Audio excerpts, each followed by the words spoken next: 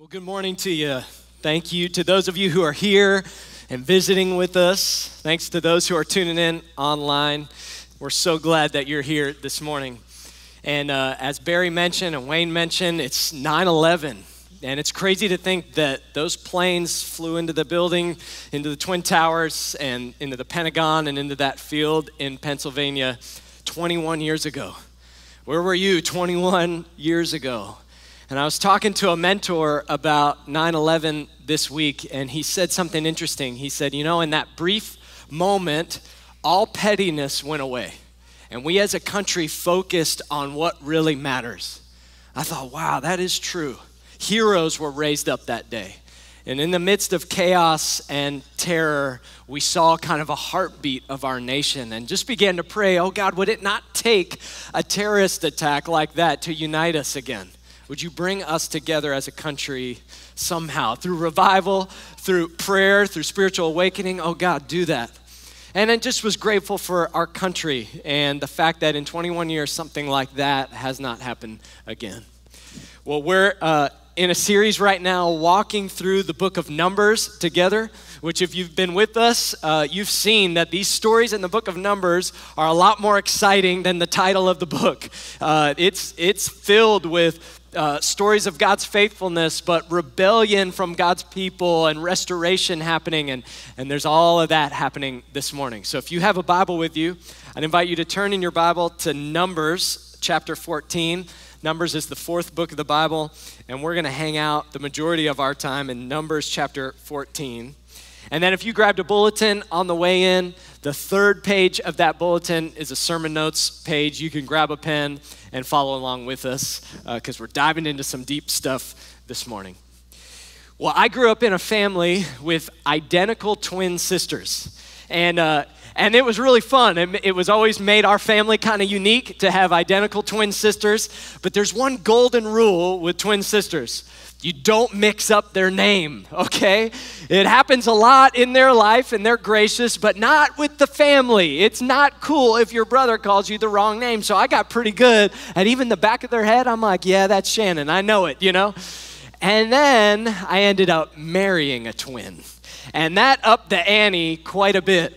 And uh, my wife's name is Jen, and her twin's name is Jess, and they're also identical twins. I think we have a picture. And so I knew right at the get go, oh man, I better not mess this one up. And I'm happy to report to you that my track record of calling them the right name is pretty good, but it's not perfect. uh, I have failed at least two times, and they have been painful. The first time was right after we started dating, and I'm like, I like this girl a lot, so I took her out to coffee, and I decided to have that define the relationship conversation. You know, like I really want to pursue you. I want to be boyfriend girlfriend. Let's let's do this thing. And uh, so I'm going through my spiel that I was all nervous about, and I finally get to the end, and I so eloquently say, I have so enjoyed getting to know you, Jess. And she goes, What did you call me? And my eyes get big and I said, What did I call you? Oh no. And I bumbled through the rest of the spiel and somehow she decided to stay, you know, with me. And, and we were dating and things were going well. And then a few months later, I get a text from Jen and I look at it and it's a picture of her, kind of a kind of a funny picture that she had sent or so I thought it was her. And so I send back the little heart eye emojis and I say, Oh, wow, you look so good. You're cute, you know? And she replies, That's not me. I think we have a. And I went, Yikes, how do you recover, you know, from that moment?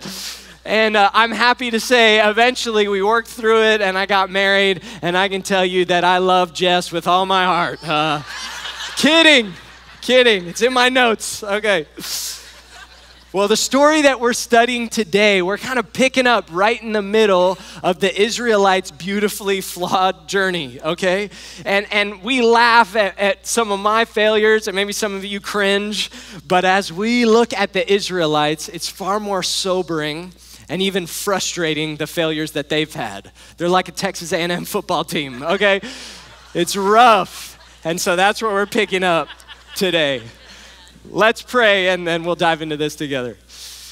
Father, we thank you so much for the time uh, to worship and to sing about your goodness. And God, even singing that here uh, on the front row here, just with tears in my eyes as, as the realization that life is not easy. We don't sing that because, oh, it's just so fun to say that you're good. It's because it's true.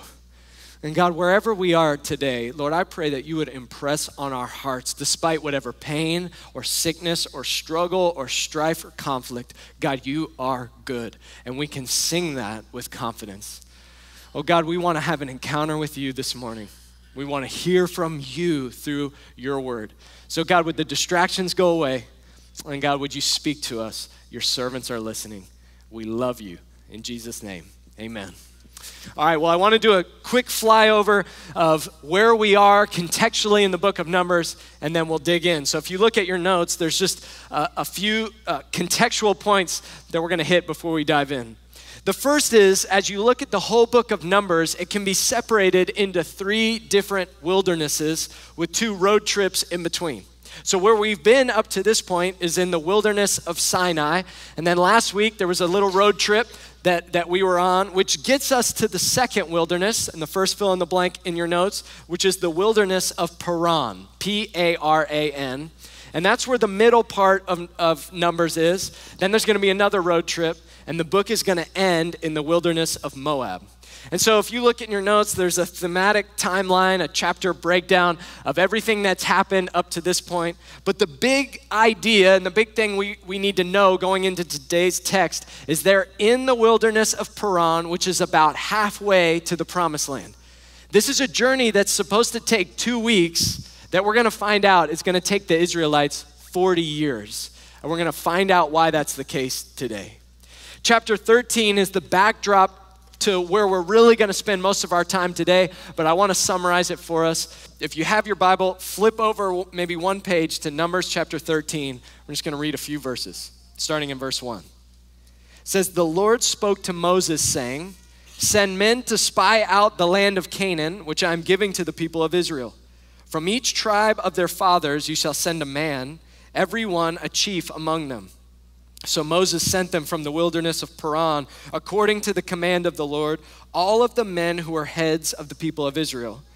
And these were their names. And then it goes down and it lists out each of the tribes of Israel and each of the chiefs that went as the spy uh, into the promised land. But there are two names that we want to make sure to highlight. The first is a guy named Caleb from the tribe of Judah, and he's going to show up again in a little bit.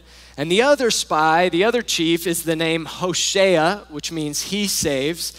And Moses is going to change Hoshea's name to Joshua, which means Yahweh saves. And so he changes Joshua's name, he gathers up the spies, and he says, You guys, there's two commands. You need to evaluate the land, and you need to be of good courage. And then he sends the spies into the land, and they're there for 40 days. They're, uh, they cover 220 miles worth of the promised land area. They gather up some fruit, and they come back, and in verse 25, they give their report. And rather than just reporting what they've seen, they actually exaggerate the things that they've seen and invoke fear into the people. But it's not all of the spies. One of the spies named Caleb, he steps up and in verse 30 he says, No, no, this is a good land. God is going to give it to us. We are able to go in. But the 10 other spies, other than Joshua, they rise up and they say, No, we are not able to go in. And the backdrop of Numbers chapter 14 are these two conflicting reports that the people have before them, and it's their decision what are they going to do? Which one are they going to obey? And as we go through this story together, we're going to see that the story will prove that it was actually much easier to get the Israelites out of Egypt than to get Egypt out of the uh, Israelites. And that sets us up to chapter 14. In chapter 14, we're going to read it together and we're going to focus on two takeaways specifically related to failure. If you've been with us for the past month and a half or so, you heard Pastor Jim at the beginning of August give a message on failure, which was fantastic. And I'd encourage you to go back and listen to it. And his message kind of covered overarching failure, like you tried something and you failed at it. This message is going to be related specifically to failure dealing with sin. So, the first takeaway that we're going to get from Numbers chapter 14 is this It's that failure begins with believing a lie. Failure begins with believing a lie. Let's pick up in Numbers chapter 14, and we're going to start in verse 1. So, how did the people respond to these two reports? Verse 1. Then all the congregation raised a loud cry, and the people wept that night. And all the people of Israel grumbled against Moses and Aaron. And the whole congregation said to them, Would that we had died in the land of Egypt, or would that we had died in this wilderness. Why is the Lord bringing us into this land to fall by the sword? Our wives and our little ones will become prey.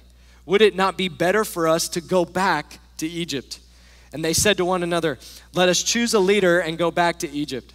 Then Moses and Aaron fell on their faces before all the assembly of the congregation of the people of Israel.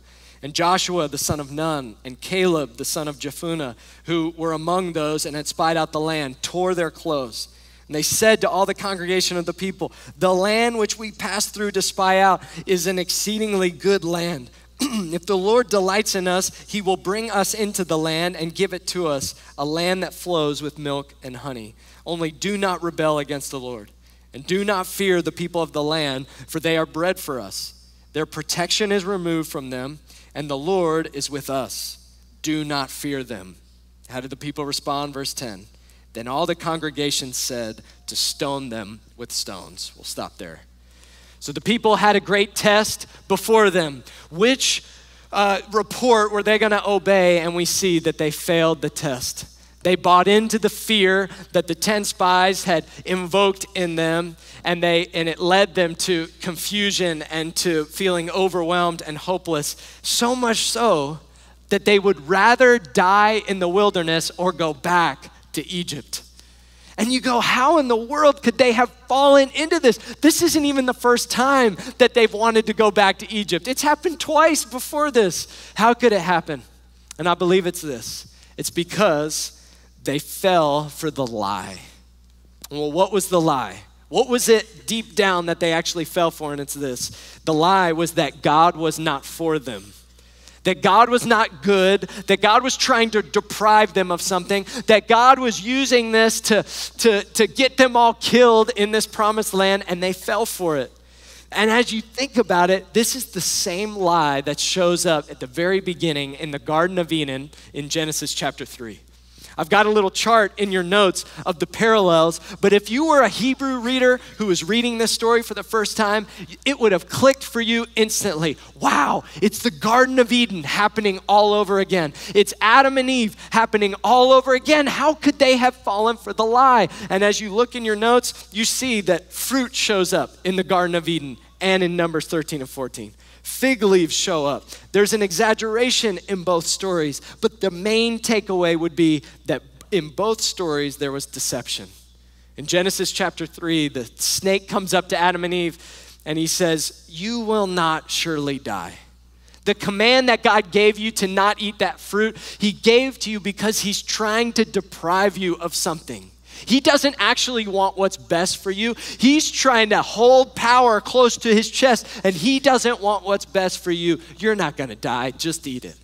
And that's the same lie that the people believe from in Numbers 13 and 14 that came from the spies when they said, We will not be able to go up. God gave a clear command. And he said, I want you to go into that land. I'm giving it to you. And the spies say, No way. There's no way God can give it, this to us. It's a trap. We're all going to die. God is not for us, He's against us. And we see in both stories, the punishment is the same. In Genesis 3, they're banished from the garden. And in Numbers 13 and 14, none of them are going to be able to go into the promised land. But the promise is similar as well. In Genesis 3, God speaks to the serpent and he says, The offspring, her offspring, is going to end up crushing your head. There's a typo in your notes. Uh, and he's going to crush your heel. And then in Numbers 13 and 14, he says, uh, Your little ones, the same ones you thought were going to die in the land, they're going to be the ones who actually go in it.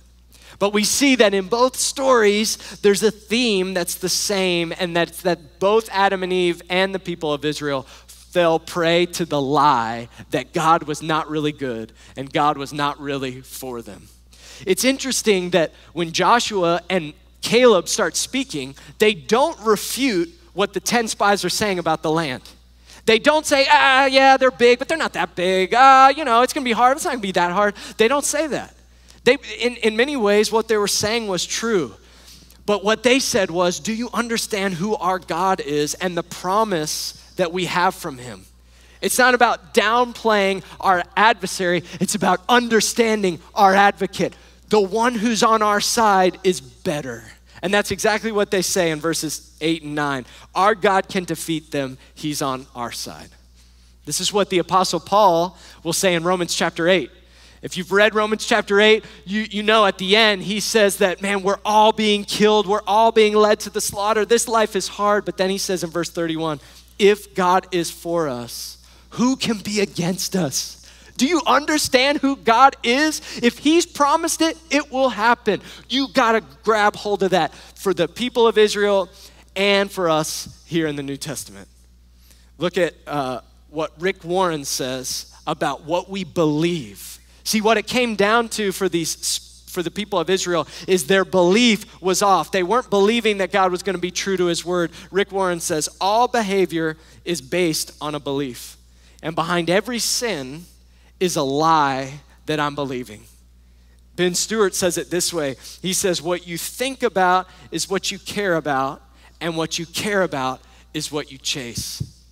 How did they fall prey to such a destructive uh, uh, failure? It's because they believed a lie that God was not really for me, He's against me, and it led to destruction in their life. That's why the Apostle Paul will say in 2 Corinthians 10, verse 5, we need to take every thought captive to obey Christ. Why? Because failure begins in our head, then it trickles down to our heart, and then it permeates out to our hands and to our feet. It's always how it goes, it starts in our heads. Ben Stewart, who I quoted just a second ago, had a profound impact on my life when I went to school up at A&M. And when I was there, he, he was leading a, um, a ministry, a Bible study on campus called Breakaway. And Ben talked about how his dog, it was named Tiger, he talked about this exact concept in the story of his dog, and I just want to share it with you. He said, When Donna and I, his wife, were newlyweds, we were given a dog a beautiful brindle coat, black mouth cur named Tiger. She was a total head case. She would run away from squirrels and hide from cats. If you reached out your hand to pet her, she would wince and pee on the floor. Awesome. When we'd been told uh, later that she'd been discarded in the woods by her previous owner, and over time we discovered that her master had been cruel. We did not hit her. We spoke kindly to her and took good care of her but she was constantly reacting to her current safe environment, including her new owners, with fear. She lived in a new reality, but with an old mentality. Her identity changed from abused to loved, from discarded to adopted. Her position in life had shifted, and now she needed to shift her perspective. Beliefs inform behaviors, and she had to decide to believe what was now true. He said, Well, over the course of a few months, we watched the implications of her new identity begin to impact her beliefs and activity. She quit wincing from our hands. She stopped fleeing from us. She actually began to rest. Then she began to do something interesting. She began to follow me around everywhere. She wanted to be near me. She would guard me like a sentry when I studied. She would sweep the perimeter of our house in signs for danger when we were hanging out in the backyard. She became the protector of our children and would leap in front of any snake or squirrel or bird that appeared to be a threat. She owned her new identity, and it began over time to shape her activity. Her position changed in a moment, her perspective and behavior changed through a process. He says, We have been given a new identity. And we now take up the process of working out the implications of this change in our lives. This is where the fight begins. Our battle begins with belief. So the question for us is like the Israelites and like Tiger the dog, what lies are you potentially believing about yourself or about your situation or about God right now? And just as I began to think of lies that I've believed in my own life, I wrote them down and they're in your notes of certain things that we're just so prone as humans to grab onto and believe. The first one I thought of is the lie that if God was good, he wouldn't let me go through this pain. I have uttered those exact words to God in a trial many times. God, if you're really good, and if you're really in control, like we say and we sing about, then why in the world would you let this happen? Are you in control or not? And yet, what I didn't realize at that moment was I was buying into the same lie that Adam and Eve believed in the garden, and that the people of Israel believed in, in Paran, and that I was believing in my situation. God, you must not be good for me to endure this kind of pain. Maybe it's the lie that, hey, everybody's doing this certain thing, so it's not gonna hurt anybody if I jump in and do it too. And think about how tame that seems. But then when you talk to anybody who's been addicted to something that they are trying to fight, that they are making war against, how did it always start? Man, everybody was doing it. And I just wanted to jump in. It felt harmless at the time. It was just something that, you know, it was just little. And I didn't see the trajectory of where this lie would lead in my life. If I could go back, I'd change that in a heartbeat. That's a lie that we believe. I think the greatest lie that we tend to fall into is the lie of, this is the last time. I'm just gonna call him one last time. I'm just gonna drink this one, one last time. I'm just gonna watch this one last time. I'm just gonna say this one last time. I'm just gonna do this one last time. But it's a lie. We don't need closure with sin. Instead, we say, by the power of God's Spirit, that was the last time. Behind me. I don't need to do that again. Oh, God, help me never do it again by the power of your Spirit in me. No more times. Maybe it's the lie of, I could never believe in a God who would where we allow the culture around us to say, okay, this is what the culture is saying, so God, you need to fit inside of what's culturally allowed rather than going, God, who are you? And whoever you are is who I'm going to believe in, regardless of what it costs me on this life. Some of you, the lie that you believed is words that were spoken over you when you were a kid or, or years ago that were said in, in jest or, or, or flippantly or said over you, and you've continued to hold on those words of, I'm not smart, I'm not intelligent, I'm not worth anything, I'm not skinny, I'm not funny, I'm not whatever, and you continue to hold on to those words. And maybe God has you here today to deal with that. To hear these words and, and to hear God say, I didn't speak that over you. Do you believe my words or do you believe those lies that were said over you? I'm reading a book right now called Strong Fathers, Strong Daughters. And I'm early on in the book, but the first couple chapters is this, this counselor, this doctor saying, Fathers, do you realize the kind of weight you have in your daughters' lives?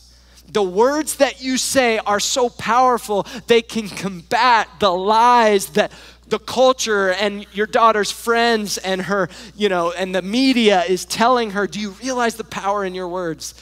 And then she also said, Do you know the power you have to breathe those same lies into her identity, into her body, into her worth, into her intelligence, into her mentality? Do you realize that your flippant comment about, oh, have you realized how much you're eating, can set a trajectory for her life to where years later she's still holding on to that lie? And some of you have been living in that. And the person who spoke the lie doesn't even know it, but that's what the world that you've been living in. And maybe God has this morning you deal with that lie. Why? Because what you think about is what you care about. And what you care about is what you chase. The failure that the Israelites fell into started with believing a lie. That's the first takeaway that we see in this text. The second failure, the second takeaway is that we see that failures have consequences, but failure is not final. We see that failures have consequences, but failure is not final. And we're going to read a large chunk of the rest of this passage, and I'm going to warn you, it's long, so we're going to get into story time a little bit. But even as I was praying about, oh, God, should I just summarize it and kind of give my commentary? It's like God said, no, Tyler, trust my words. I want to speak through my inerrant written word this morning. I said, okay. And so we're going to read this together. Would you follow along? And then we'll have some thoughts. Look at verse Numbers chapter 14, uh, in verse 10. It says, Then all the congregation said to stone them with stones. But then God shows up. But the glory of the Lord appeared at the tent of the meeting to all the people of Israel. And the Lord said to Moses, How long will this people despise me? And how long will they not believe in me, in spite of all the signs that I have done among them? That's it. I will strike them with pestilence and disinherit them, and I will make you, Moses, a greater nation and mightier than they. But Moses said back to the Lord, God, then the Egyptians will hear of it, for you brought up this people in your might and from among them. And they will tell the inhabitants of this land, They have heard that you, O Lord, are in the midst of this people. For you, O Lord, are seen face to face, and your cloud stands over them, and you go before them in a pillar of cloud by day and in a pillar of fire by night. Now, if you kill this people as one man, then the nations who have heard of your fame will say, It is because the Lord was not able to bring this people into the land that he swore to give them, that he has killed them in this wilderness. And now, please, let the power of the Lord be great as you have promised, saying, and he quotes Exodus 34 The Lord is slow to anger and abounding in steadfast love, forgiving iniquity and transgression, but he will by no means clear the guilty, visiting the iniquity of the fathers on the children to the third and the fourth generation. Please pardon the iniquity of this people according to the greatness of your steadfast love, just as you have forgiven this people from Egypt until now. Then the Lord said, I have pardoned according to your word. But truly, as I live, and as all the earth be filled with the glory of the Lord, none of them, none of the men who have seen my glory and my signs I did in Egypt and in the wilderness, and yet have put me to the test these ten times and have not obeyed my voice, shall see the land that I swore to give to their fathers and none of those who despise me shall see it. But my servant Caleb, because he has a different spirit, has followed me fully. I will bring into the land, I will bring into the land into which he went, and his descendants shall possess it. Now, since the Amalekites and the Canaanites dwell in the valleys, turn tomorrow and set out for the wilderness by the way to the Red Sea. And the Lord spoke to Moses and Aaron, saying, How long shall this wicked generation grumble against me? I have heard the grumblings of the people of Israel, which they grumble against me. Say to them, As I live, declares the Lord, what you have said in my hearing, I will do to you.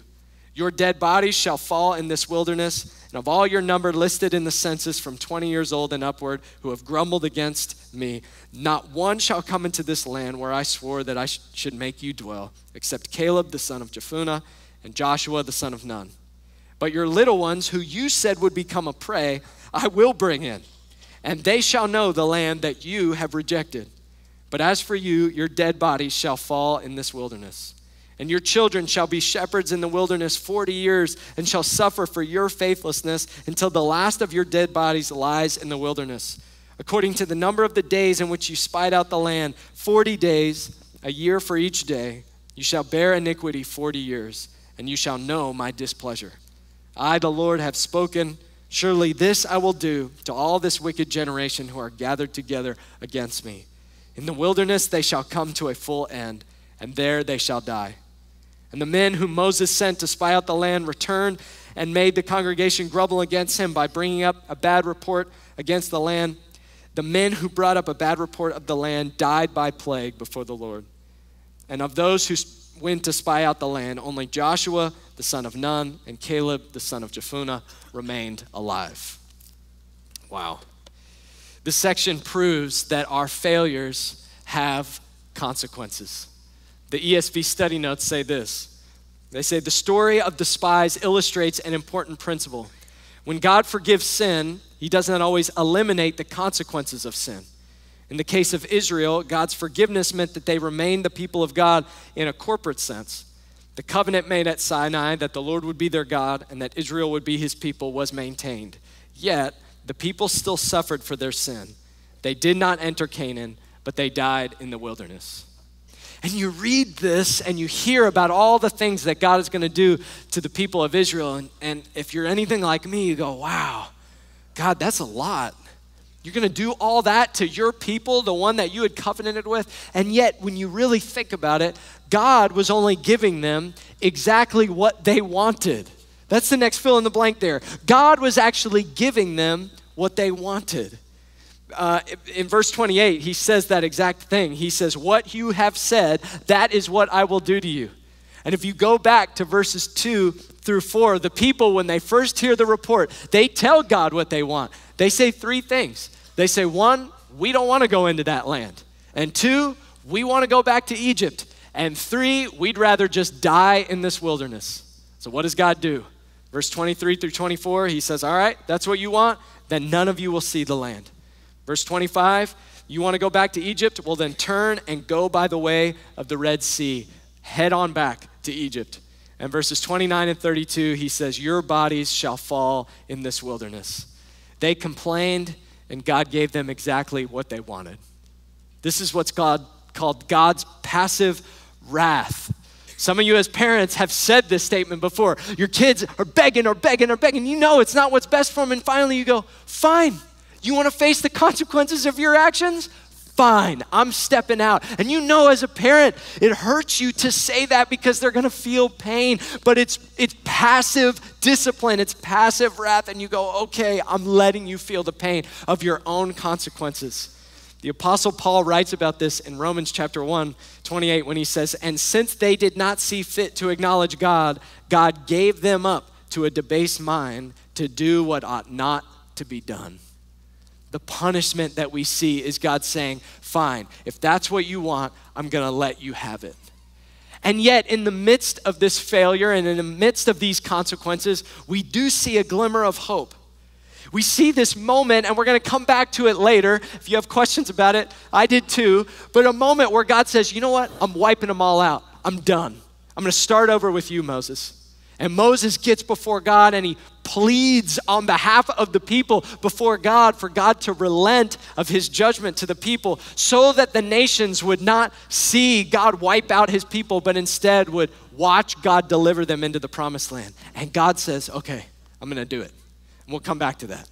But the other thing is, God says, My plan will not be thwarted. Whereas these people are going to face the consequence of their sin, their kids are going to be the one to take that land eventually, and my plan will continue into the, into the promised land. And so we see a glimmer of hope in the midst of the consequence of failure. And as you think about the Bible, of the, some of the characters that we've looked up to for so long, it is amazing to me how many of these characters failed big time? Not a little mess up, like big time, big time sin. Think about it. Abraham, two times he lied about his wife to Pharaoh, and then he slept with another woman who is not his wife. Moses, Moses murdered a guy. And then he fled for his life, and God called him back to Egypt, and he said, No, I don't want to go back to God. And then what we'll read about in a little bit is God gives Moses a clear command hey, I want you to speak to this rock. And out of anger, Moses is going to hit it, and he himself is going to forfeit his ability to go into the promised land. Think about David, the man after God's own heart, King David, who slept with another man's wife and then had that man killed, and yet was the king after God's own heart. Think about Peter who denied Jesus three times, invoking a curse on himself, saying, I don't know that man, and cursed am I if I do, in front of Jesus in his moment of suffering. And yet Peter would go on to lead the church. There is no failure that is too far for God. Some of us need to hear that today. We feel the consequences, we felt the wrath, we, we realize the punishment, and yet God says, I can still use you in the midst of failure. Just like Abraham and Moses and David and Peter, I continue to use them. But each of these people, each of these characters had to face the consequence of their failure and they had to own it. So, where do you need to take ownership of failure in your own life? Very often, when we fail, it's easy to uh, pass the blame to someone else and go, well, you don't really understand the family that I grew up in, or you, if you knew the wife I was married to, or if you knew what was going on in my world, or what my boss was telling me to do, and we, we put it on everybody else rather than going, what David said in Psalm 51 Against you, O Lord, have I sinned. It's my fault. I did it. And you own the failure. But you don't go to the extreme to heap judgment and condemnation and guilt on yourself and to say, See, I'm just such a failure. There's no hope for me. I knew it. Stepping back into church, it's just another reminder of how terrible I am. Because remember David and Abraham and Moses. You are not too far, but we need to take ownership of where we have failed. Look at application number two. Where have you seen the consequences of failure in your own life? Maybe there were words that we talked about earlier. You're the father who spoke words over your daughter that has haunted her for years, and you've never owned it. Well, maybe God's calling you to own that today. Maybe it's your marriage. There's something that you did in your marriage, something that you hid in your marriage, something that you said to your wife or to your husband that's caused immense pain. And you've pushed it on everybody else and you've given a million reasons, and maybe God's calling you to own it. Say, Against you, oh God, I sinned. I messed up. I alone am to blame. Maybe it's in your parenting or your friendships. You watch the friendship explode, and God's calling you to make that right. Maybe it's in work or in school or hidden sin. Or maybe you are Caleb and Joshua and you're around somebody and you're watching them, their life implode and they're blaming everybody else and they're, they're, they're not facing the consequence of their sin. And, and in fact, you're wanting to come in and rescue them. And, and maybe God's just calling you to continue to faithfully pray for them and continue to love them, but to not allow them to, to heap on continual blaming of other people and instead to that passive wrath to go, okay, God, oh Lord, would you help them deal with this moment in their lives? What is it for you? Where have you seen the consequences of failure in your life? It's when we humbly deal with failure that God is ready to deal with us. And that's what I want to spend the end of our time dealing with. I, I, want to address the elephant in the room when it comes to this text, and it's what I've been wrestling with all week. And it's God, did you change your mind when you were going to wipe out the people? And Moses, a man, said, No, no, no, God, you don't want to do that. And you said, Oh, okay, yeah, yeah, yeah, you're, you're right. Is that what happened? Is that right? And I want to deal with that with the rest of our time. As you look at the last page of your notes, there's a conclusion, and I believe it comes down to this. And it's God's heart for repentance. God's heart for repentance. As we look at a difficult question like this, or as you're reading and you see something that sounds contradictory, you want to interpret Scripture with Scripture and look at what is the grand narrative of what God's Word is saying. And so we, lo- I have some scriptures there in your notes. Malachi 3, verse 6. God says this of Himself he says, For I, the Lord, do not change. So God is saying, Of my character, I don't change. In Numbers 23 19, that we're going to uh, read here in a few weeks, it is said, God is not a man that he should lie, or a son of man, here it is, that he should change his mind. God is not like a man in that he does not change his mind. But there are passages like this in Scripture that sure make it seem like God changes his mind. Exodus 32 14 says, And the Lord relented from the disaster that he had spoken of bringing on his people. And then Numbers 14, verse 20, what we just read, then the Lord said, I have pardoned according to your word. So, what do we do with this? I spent all week wrestling with it, going to different sources and talking to different people, but there was a short conversation I had with Pastor Jim that crystallized it for me. And he said this statement and I have it there in your notes. Jim said, Where I've landed is that God has unchangingly decided to relent of judgment when people repent. I'm going to read that again. He said, Where I've landed is that God has unchangingly decided to relent of judgment when people repent. So, God in His character does not change. Those scriptures that we read are true. But in God's sovereign, unchanging character, He has decided that when my people uh, understand what they've done and they repent of their sin, I will always relent of the judgment that is due them. Always. And I'm unchanging in that fact. That is just a beautiful truth for us to hold on to today. God is unchanging in that he will relent of judgment when we repent. Look at Psalm 51. It says, The sacrifices of God are a broken spirit. What does God want? A broken and contrite heart, oh God, you do not despise. And then Jesus in Luke chapter 18, he's telling a story of a Pharisee's prayer life versus a tax collector's prayer life. And the Pharisee stands up in front of everyone and he goes, Man, I'm awesome. I've got everything figured out. I tithe all my money. I, I pray all the time. Man, uh, I wear the right clothes. I'm not like that tax collector over there. I am killing it. And then we get into the prayer life of the tax collector.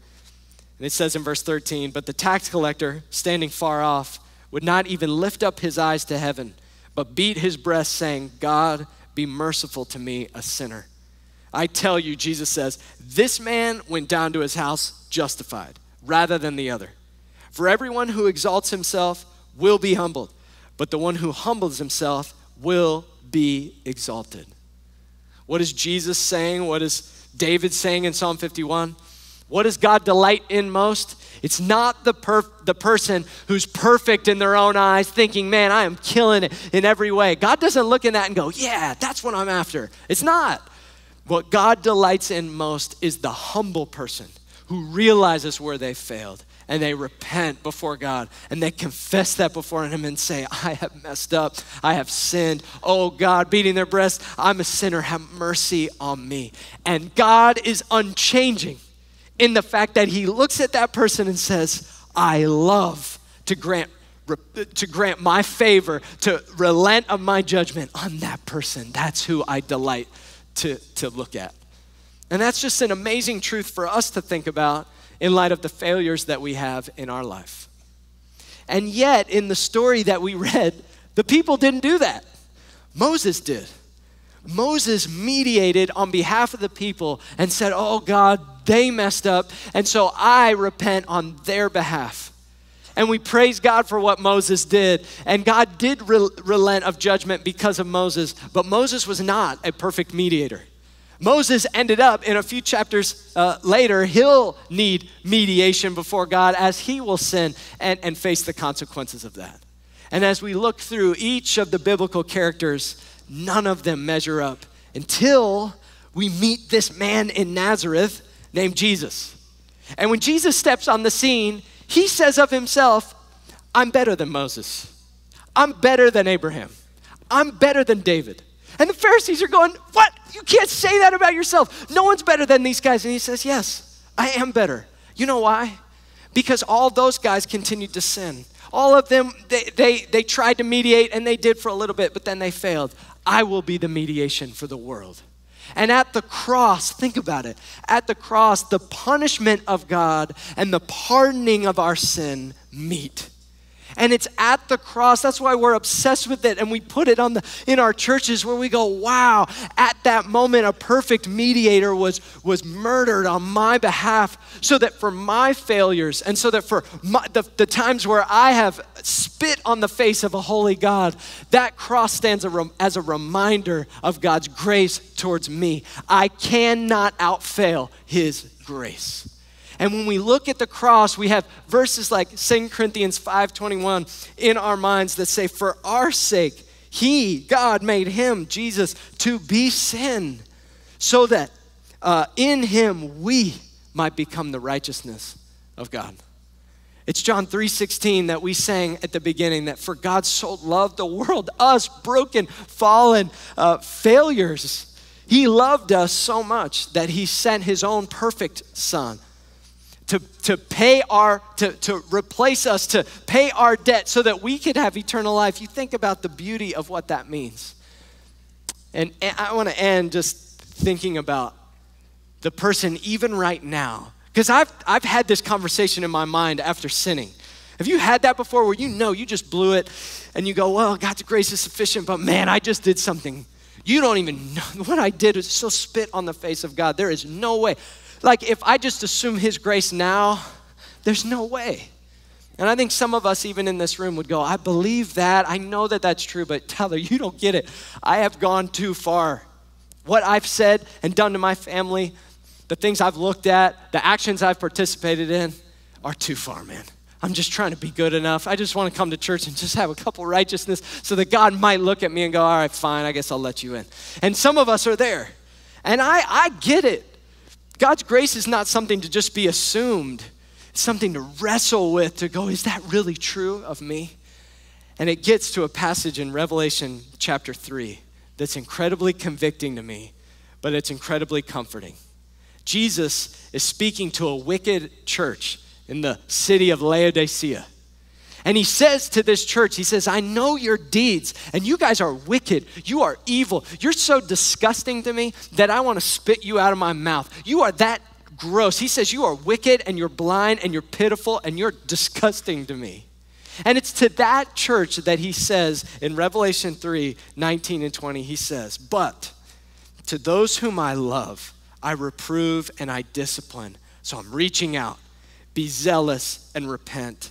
Behold, church in Laodicea, church in America, Grace Fellowship, I stand at the door and I am knocking.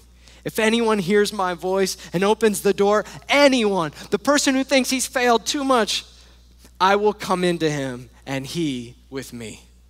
But in order for that to be the case, you got to actually let me in and you got to put your agenda to the side, and I need to be enough for you. The Israelites are eventually going to come to their senses and they're going to realize they've sinned and they're going to go, oh, okay, so we can get the promised land. All right, we're going to go. And they start making their way, and Moses goes, no, no, if you go now, God's presence isn't going to be with you.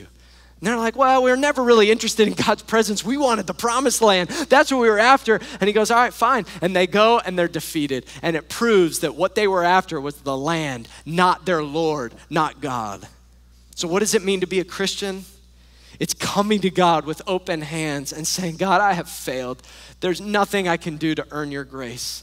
I put my agenda to the side, I surrender to you, and I just say, You say you're knocking on the door despite what I've done, so I'm just opening it up. And I'm saying, Okay, God, I'm listening to you, and I want you. Would you save me?